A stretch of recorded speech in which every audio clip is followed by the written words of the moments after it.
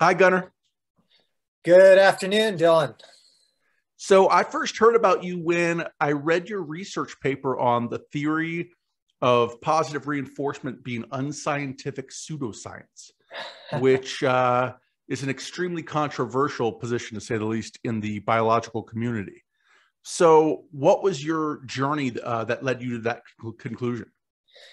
Yeah, so it it kind of started all with um, me coming from a different perspective, I guess, from a from the average person entering this field. So, I I moved to Tahoe after um, undergraduate. I I had completed a biology major and a piano performance major, and I just needed a break, so I went to Tahoe to ski, and I actually became a professional skier. And as I was doing that, I was like, you know what, I, I really want to go back to grad school. Um, this is getting too dangerous. Um, so what can I do? And I found a lab that was working on the development of the brain um, with uh, fruit flies, of all things. And the fruit flies, I didn't realize how intelligent flies were until I started getting into this field. Like they actually learn things they have somewhat of a social structure. They do courtship behavior. Um, so, so these really simple organisms had much more complexity than, than I realized, and I wanted to do behavior with them. And so my professor said, hey, why don't you take this class from this guy named Alan Gardner? Well, it turns out Alan Gardner was the guy that um, did the Washoe project. Now, Project Washoe was where they cross-fostered chimpanzees as if they were humans. They taught them sign language. They, they raised them in a sign language home um, to try to see what the difference was between, you know, a human child being raised as a human and what would happen if you have a chimpanzee child raised as a human, right? That was the whole goal of the project, just to see how similar they would be. and through this class, I learned like, Oh, wait. So if you actually go and look at the way learning is happening, um, none of the experiments or very few of them turn out the way that you expected.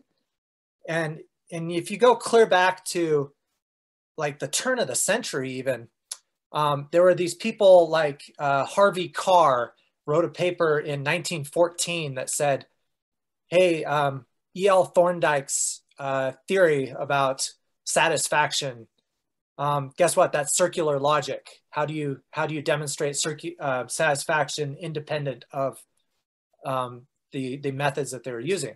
And it got me thinking. Is like, well, okay, so so you got this problem with Thorndike. What about Skinner? What about reinforcement? And so started reading through that literature and and found out that it's, it's basically the same thing um, as the, the law of effect that Thorndike came up with. And when you look at the actual experiments, there isn't a single control group. They start with the assumption, I guess, that, it, that learning has to happen by a certain way or, or whatever it is. And they just go through an experiment of like a rat pressing a lever and then see if you give it different amounts of food or different ways of giving it food, what happens to the number of lever presses? Um, but what about what about the other? What what about everything else in the world? What about the context? What about the the fact that people don't always do what what they're expected to do when you just give them food, right? So um, I can go through some details, but so but basically I started seeing all these problems with the outcomes of the experiment versus what reinforcement said should happen. And I found the misbehavior um, paper from 1961, Breland and Breland, and, and documented all these different species that they did the wrong thing when you gave them food, right? Um, so, so that was kind of my introduction to it. And so then I started looking from a molecular level uh, on the dopamine. So dopamine at the time was really considered to be the reward molecule that was carrying the signal of reinforcement. And it turned out that the, the molecular um, evidence didn't line up uh, the same either. So, so really it, was um, about me reading the literature first and saying like, okay, if reinforcement happened by rewarding a behavior, then what should the outcome be? And seeing that it differ it diverged quite frequently. So, in your paper, you describe reinforcement as a reinforcing stimulus following a behavior makes it more likely that the behavior will occur again in the future. I think that's all familiar to us. Um, and then uh, you challenge this by saying if the stimulus was a reinforcer, it will in- increase the previous behavior. How does one determine if the stimulus was a re- reinforcer? It increased the behavior. What process increased the behavior? Reinforcement. If the premises are true, the conclusion must be true. Reinforcement is a textbook example of circular logic. Circular logic is not falsifiable and therefore cannot be a basic principle of behavior. Now, um, Pinker, Steven Pinker, I'm sure a lot of us are familiar with, uh, he has uh, he said that the I, I, reached out to him about um, your paper and Pinker said that that argument was debunked at least 50 years ago. What you're saying? um, By who? he, now he said, uh, let me see here. He said I was familiar with that argument when I was an undergrad in the 1970s. It's an empirical issue whether any reinforcers exist. For my car, there are none. And once you identify what the primary reinforcers for an organism are, food, and sex, as long as they are a subset of all stimuli, the circle is broken. no, you can't just say the circle is broken without demonstrating it, right? So, so the, the problem I have with that is, is this. Okay, so uh, aside from circular logic, let's say that um, it is true that food is a reinforcer. So food must come after a behavior to make that behavior increase, correct? Otherwise, it's not a reinforcer. Well, with lever pressing, guess what happens if you just throw food in the dish without a requirement of the rat doing anything? And there's a lever next to it. So if the rat's just sitting there or scratching or whatever it's doing, Let's say it's scratching. Let's say it's scratching, food comes. Shouldn't food reinforce scratching? Right. Right? If it's just sitting, shouldn't food reinforce sitting? So when you actually video these rats and see what happens when you just deliver food at an interval, you see that lever pressing increases even if they weren't lever pressing before the food appeared. So this is, it seems like completely counterintuitive, right? Like why on earth would that happen? Well, you have to look at the rat's behavior, uh, ethology, which is its natural behavior. Rats handle their food. So when food comes, that is a stimulus to handle. So what's the nearest handling looking object next to the food? Happens to be a lever that looks a lot like the type of thing that a rat would handle to eat. So when you drop in food, the food activates lever pressing, food handling behaviors. It doesn't reward them. So it's the wrong direction. Does that make sense? Yes. So the, when you try to reinforce scratching or tail twitching, there is not a single publication that I've been able to find that has been able to demonstrate that you can reward a non-food related behavior with food. So if it were reinforcing, as said, you should be able to increase these other types of behaviors by just delivering it right after it happened. But I, I've never been able to do it myself, and I've never seen a publication that's demonstrated that. If positive reinforcement can teach an animal to do something, to learn something new. The question is, how come different kinds of animals are taught to do different things? You've you've um, talked about this a little bit. So pigeons, yeah. so pigeons are in experiments. Pigeons are usually taught to peck at targets, not levers. Um, mm-hmm. For pigs, it's coins. for rats, as you said, it's levers. Well, why not? If positive reinforcement theory is true, why not use a lever for every animal? There must be something innate going on, right? Yeah, yeah. So that that's definitely part of my argument is that um, if it is such a general principle, why why is there such um, tight constraints about what they will learn, and why do they learn so easily in some situations and so difficult? Why is it so difficult to train them in others? And it has to do with how well that stimulus matched with their ethology, and that's independent of whether or not it's reinforcing. So, so yeah, some people make the con- concession that okay, well, yeah, you you have to know which reinforcer for which behavior, but that really weakens the argument already of like, okay, well, if it's a general term, then why do you have to know what the right reinforcer is for the right behavior? And then you have to actually demonstrate that it goes the right direction. That if you don't just give it at intervals, no matter what they're doing, uh, that the same behavior won't appear. Yeah, I As, asked. Uh-huh, yeah. Go ahead. Um, compared to you know if you did it only after that behavior you were trying to reinforce. So how do you falsify the idea of reinforcement? Uh, for example, you know, with the vaccine, you can try to falsify it using placebo injections. Yeah, so I, I thought the way to you would demonstrate falsifiability is to demonstrate that there's another principle of learning that happens that does explain what's going on in those situations that reinforcement would doesn't work. So, for example, you have the Pavlovian conditioning where you make an um, an association between um, you know a light, let's say a bell and a and food, and it happens regardless of what behavior they're doing. They will change their behavior to start doing um, anticipatory behaviors at the bell, even when food is absent. If you pair the the bell and the food enough times. So that looks a lot like pairing a lever in food in the rat. You can teach which lever to press in a rat by Pavlovian conditioning.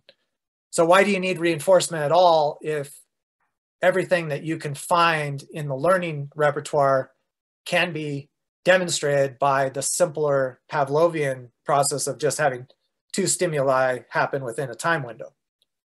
It, there's no there's no requirement of a behavior happening that needed to be reinforced. So that's the control group. So what happens when you bring up positive reinforcement to other professors? I mean, where where does it go? Does it lead anywhere? It's so steeped in the culture that they they don't even want to consider it. Um, it's it's like if you had said that there's no such thing as plate tectonics now, that continents are are firm, stuck at where they're at. So it'd be like, you know, there's so much evidence for this. Why would I even consider that you have another um, opinion about it? Because that is obviously false. Um, so that's that's what the problem is really is that it's it's so easy a concept to grasp, but so hard a concept to say that we don't have the control groups to demonstrate it. There's circular logic. There's still these problems. Why can't we come up with something better? And usually that's that's where the conversation ends. And they're like, yeah, there's problems, but we'll figure it out. I know that um, Noam Chomsky has said uh, positive reinforcement theory just won't die. Every time, every time, every time it gets knocked down, it comes back again um, at some point. And you know, uh, there was a linguistics professor who said that when she teaches her introductory class, she asks the students how children acquire their language, and nearly hundred percent say it's through positive reinforcement and association. And um, you know, even after I have done some research and read a little bit about this, it's hard for me to get away from it. For example, you know, I might see a um, a bird come into my backyard uh, who you know sees food there, certain mm-hmm. spot, mm-hmm. and it will come back again looking for the food. And it's natural for me to to think like, oh, positive reinforcement. Yeah. So so place conditioning is is uh, explicitly a Pavlovian process. Like if you look it up, people will admit that um, having food in a specific location and then the animal learning that location is a you know uh, an association between a location and the food which is not require a requirement of the response to get there so they could get there any number of ways so the response might always be different but they always know where that food is right so again you're not reinforcing a specific behavior but learning a concept of where where food is. And you're not calling into question um, Pavlovian conditioning. Oh no, no, no. Like that's easily demonstrable. You can you can demonstrate with control groups that the stimulus that was paired with food, let's say bell and food, that gets an association and you get a change in behavior. Where another stimulus that happens irrespective of the food they don't have that change in behavior. So the control group is unpaired stimulus versus paired stimulus. So paired is bell food, bell food. Unpaired is, well, just happens wherever. So the probably the most common example I see given of positive reinforcement, um, often in like intro to psychology textbooks, it would be um, that people go to work for a paycheck. Yeah, well, have you ever received uh, um, a hiring bonus that came to your door before it, before uh, you started your work, or do you know people have gotten that? Yeah. So uh, if that were true, why wouldn't that inhibit the people showing up to work? Because you're getting paid for nothing to have a a bonus that shows up before you start work. And so it should reinforce nothing? It should reinforce nothing, or it should reinforce whatever other job you were doing. Yeah, that's a good point. So um, we've been talking a little bit about rat studies. Um, when I think about rat studies, I often, depending on what it's about, so like I know Joseph Ledoux studies um, the fear centers in the brain, and obviously, you know, he, he does rat studies. But we humans and rats you know share a lot in that area of fear and so it doesn't seem like that would be you know uh, too much of a stretch um, to be you know generalizing what he finds in rats um, to humans but in other times like with you know antidepressants things like that it seems a little bit more of a stretch um, how informative in general are rats uh, studies rats obviously aren't the same as humans um, and also, uh, does it make a difference that the rats aren't wild, that they were grown in the lab? Yeah, that's that's a really good point. It's a lot of people have this argument, and I don't know if there's a great answer to it yet, but I know one thing that would help, and that is um, to be able to define the principles that actually do hold across species. And if you only use rats and humans and lab rats and humans, not even wild rats and humans, then you only have this these two data points that you don't ever know whether or not they're going to line up very well. But if you use, let's say, 10 different species, you'd start seeing patterns of where where different uh, types of experiments could could hold across the different species, right? So, so I think it's a problem that we have too few experimental species to try to generalize off of one one species about what humans do. Where if you had 10 of them, it would be a lot more informative. Still not perfect because they're all going to be different, but at least you start to see better patterns emerging of what humans are consistent with other animals and what you're not, I think. And so I think that's the trap. And what about the fact that the rats are grown in the lab? Yeah, that's that's another point. Um, uh, maybe as we get more and more sedentary and stuck in our, our homes, and if there's more COVID types of problems that happen, maybe the, the constrained lab rat would be a better model.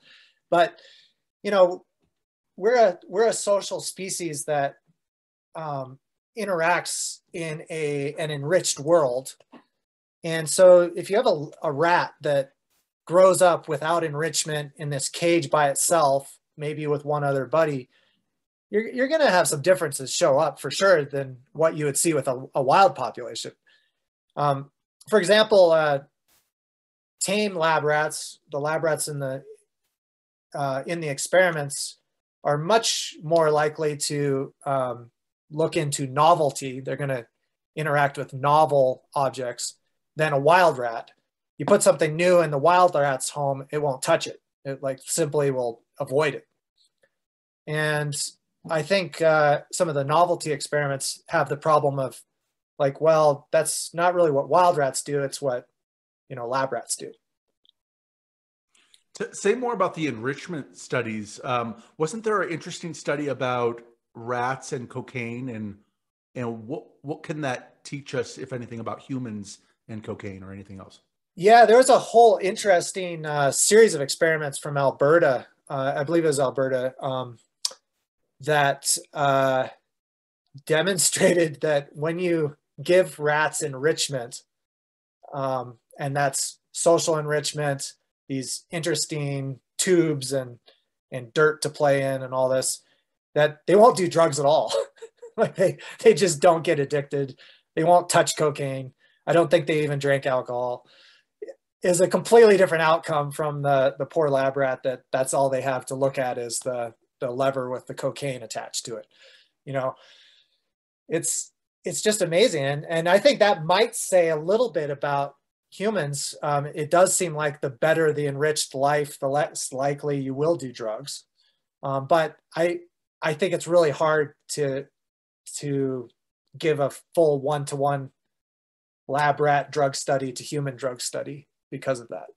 What was the point of the study? Why did it make such an impact? Um, I don't know what the original um, reason for doing it was, but I, I, bet it was something to do with uh, the re, the researchers looking at the at the studies and saying like this isn't what normal rats act like because as soon as you start doing interesting things you get a whole repertoire of rat behavior that you don't see in a box.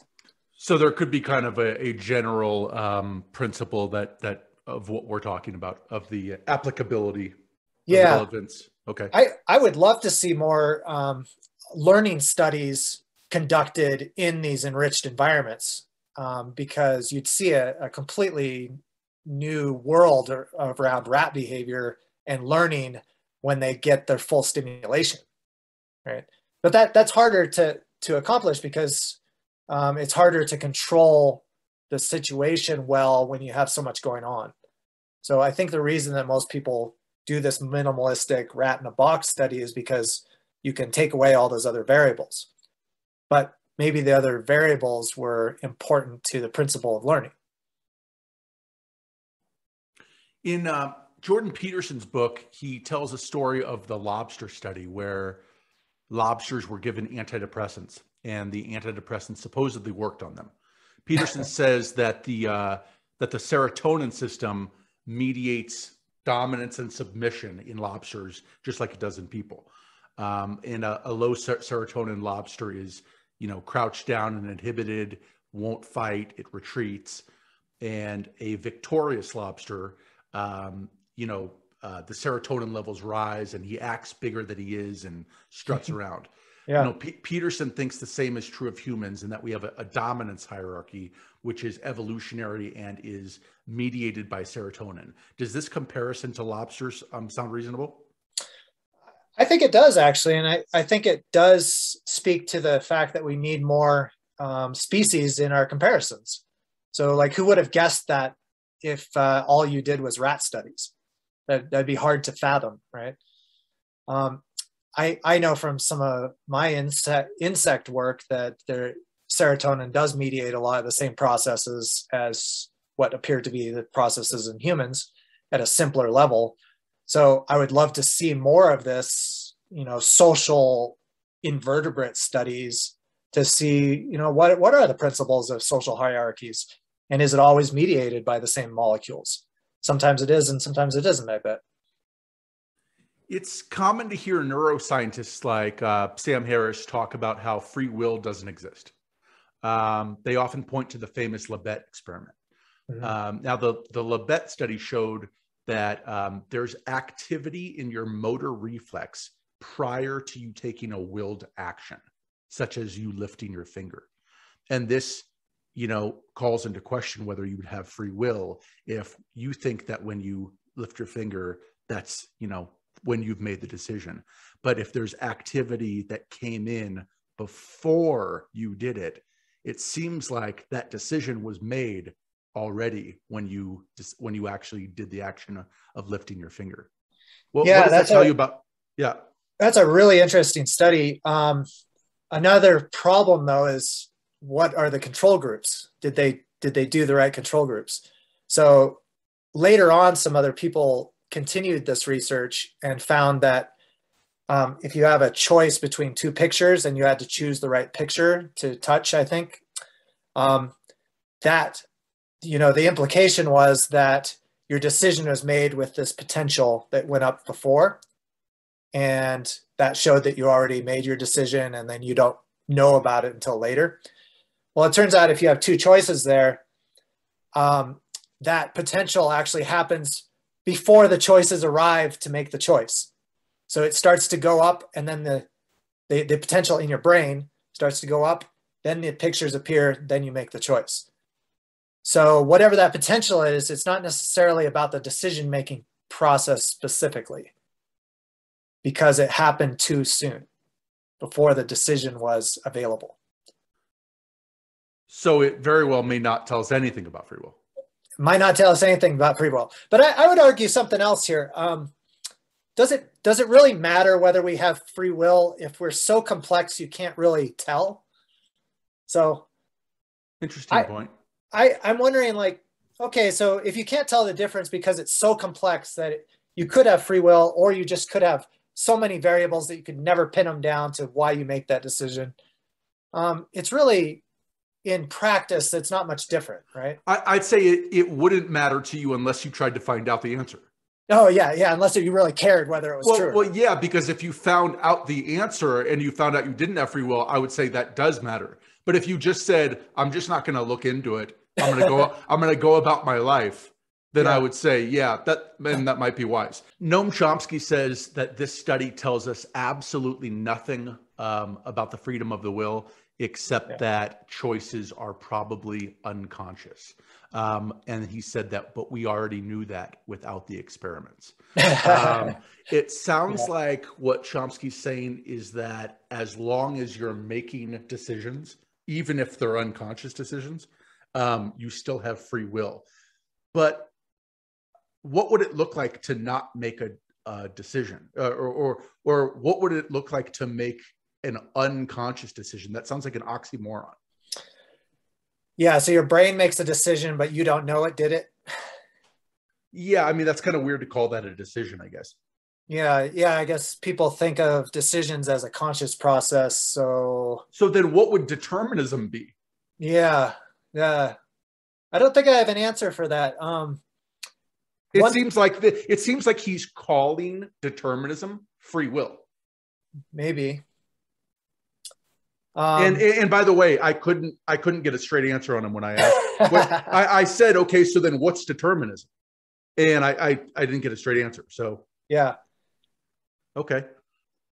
Continuing with Chomsky, he told me a long time ago that he thinks it's clear that most of our mental life is um, unconscious and not accessible to us. Um, he says that neuroscientists can't even figure out how you lift your arm yet confident psychologists think they can explain, for example, how we make complex decisions. Um, is Chomsky making a category error here, confusing the neurological level with the psychological level? Yeah, I, th- I think so in, in one respect, and that's uh, what's demonst- demonstrable by experiment. So you don't necessarily have to understand all of the parts below um, to be able to tell how a decision is made. And let me get a, give an example. So you'll you'll get at least part of the mechanism if you can make an experiment that can rule out different possibilities. So, have you uh, are you familiar with a sign stimulus? No. Um, so this is a a stimulus that no matter where it is in the world or how it looks, it will get a specific type of reaction from a specific species. So the, the famous experiment was with herring gulls, where um, the chicks will peck at a red circle.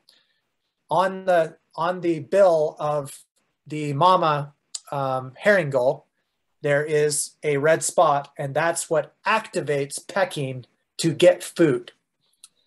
So it turns out that no matter how you do this, um, if you have a red spot and even unrealistic red spot, huge red spot, it will elicit pecking. So you know that somewhere in the brain, there's a decision, a decision that says when red spot peck, peck at red spot. But we don't know all the, the components that go on underneath that. But we can, through the experiment, say that yes, it's actually the red. Yes, it's actually the spot itself that elicits this behavior that creates this decision. So none of the molecular work has to be done, any of the other part, but we do know why they made that decision to peck. Very, very simple situation here. So I think that can be extended to complex decision making too, where you can see the algorithm, so to speak, the process that happens of why the decision is made. Is it a Pavlovian conditioning? Is it a reinforcement? Is it something else that we need to define through the behavior experiment that we can do? Now that's a little separate from all the components that go underneath where you can look at the, um, the molecular and the cellular pathways and all these things that can lead up to why you actually made the peck. So there's different levels of understanding, but you still can get something out of the behavior that proves a principle and an understanding of decisions. How are you involving um, neuroscience with AI now, now in your company? Yeah, back to back to free will, right? Um, so, so I what I did was um, I started taking the research I was doing on um, learning and memory and the molecular work that I'd done and putting that into algorithms to make robots smarter. So I had developed a learning algorithm based on molecular networks. I developed emotional systems that were underlying the behaviors. And I developed personality types that were modeled after the hormones that float around in the body.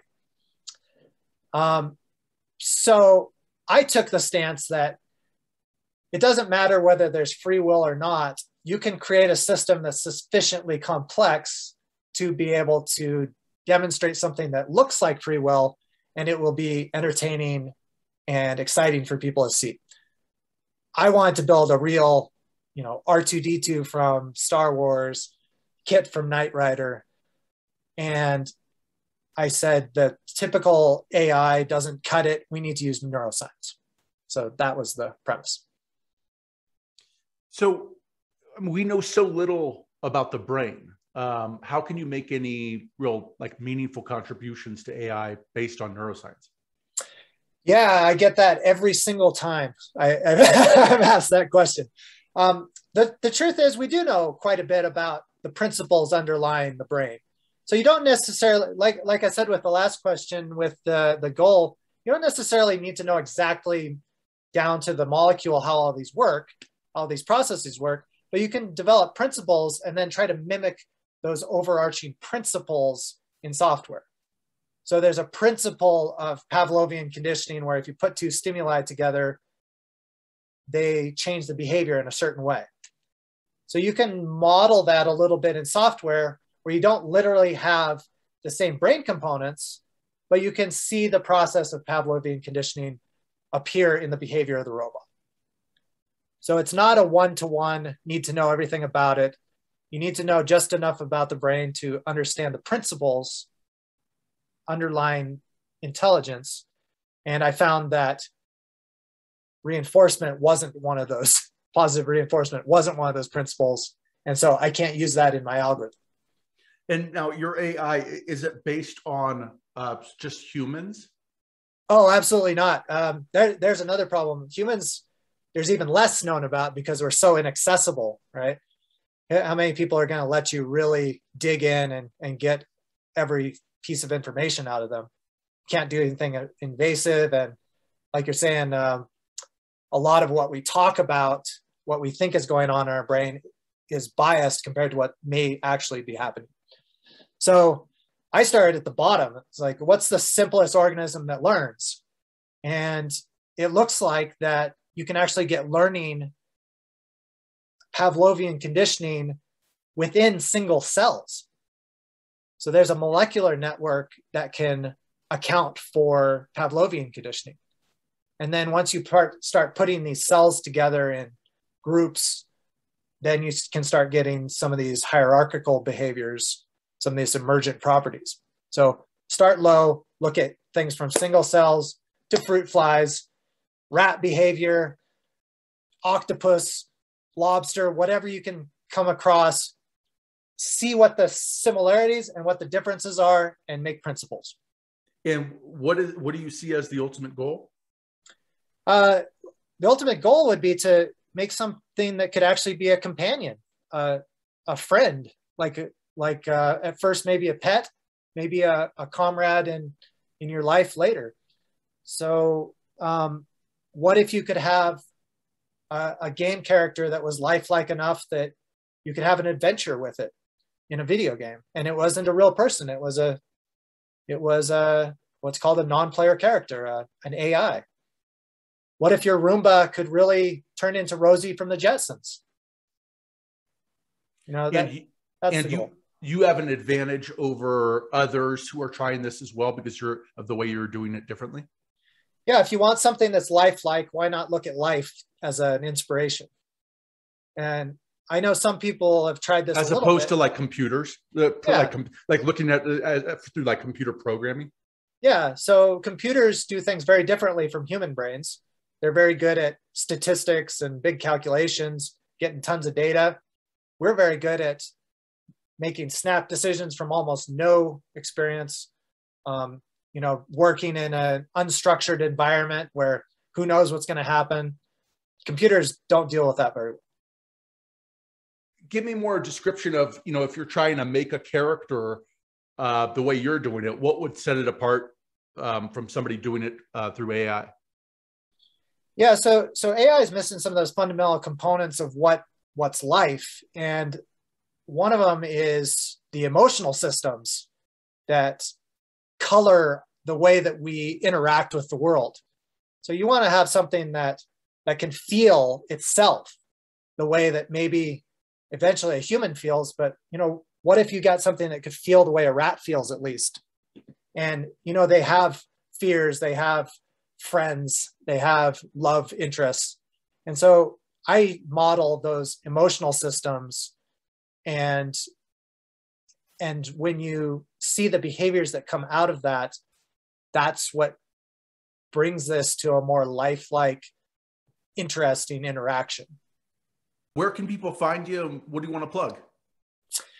Yeah, so I'm uh, I'm in Tahoe. Um, you can uh, I've been I've been just active on LinkedIn lately, um, talking about uh, autonomous robots and and other technology things at the moment. Um, I'm uh, possibly going to start a company soon called neuralworkshop.com. So that's where the next evolution of this is going to go. So look up neuralworkshop.com. Awesome. Thanks, Gunnar. So yeah, thank you. Uh, this has been exciting. So I, I love chatting about this kind of stuff. Me too.